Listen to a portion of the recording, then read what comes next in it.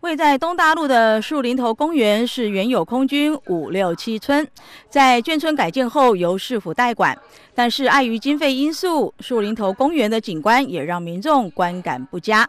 黄美惠议员在总质询上建议市府借鉴新设花海，让新竹市增加一处休闲新景点。因为在早期呢，呃，都发处呢，他用了六百万的承销。城乡风貌的基金哈的去做了一个，就是说一个公园的规划。本来里面哦有人行步道啊，有小土丘，让大家可以在里面放风筝、散步哈。可惜因为很长期以来哦没有去管理，也就造成了呢那个草啊长得非常的长。那都发处为了解决这个草的问题呢，近期哦又把它给铲平了。铲平了之后呢，就造成了黄土哦，那个风飞沙哦，在尤其在东北季风的时候呢，就带来了居民呢一些困扰。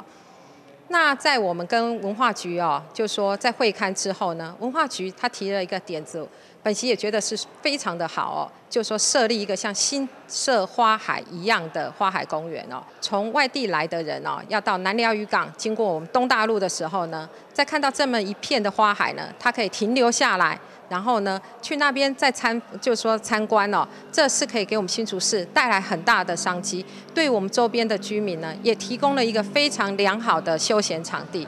树林头公园是东大路上前往南寮的必经之处。市长林志坚也回复，在有限经费下进行公园整体的规划。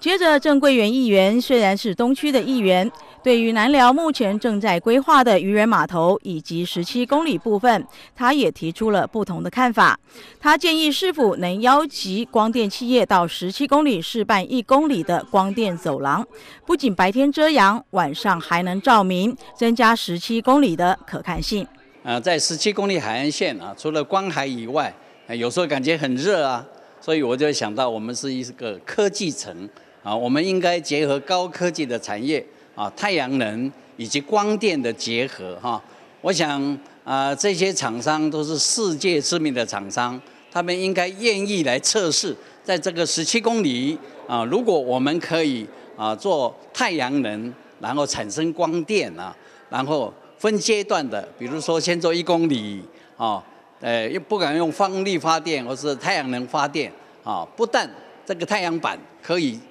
遮阳，哈，我们在十七公里海岸线不会那么热，而且晚上可以发光发亮，啊，我想这是一个很好的想法，啊，不但可以增进我们新竹市哈科技的发展，也是一种测试，也是一种行销。如果我们这个计划是成功的，啊，那我想。在十七公里以后，先一公里、两公里都是一个长廊、光廊，非常非常的漂亮啊！白天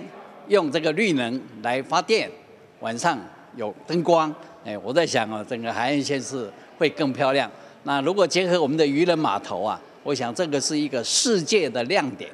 极限运动场地的争取一直是钟淑英议员持续对体育发展的重视。另外，在公托方面也是目前市府积极推动的重点。因此，钟淑英议员在场地方面积极协助寻找。趁着总执询，钟淑英议员以长颈鹿作为比喻，向市长林志坚说明，在协助处理场地时，市府目前行政效率裹足不前的状况。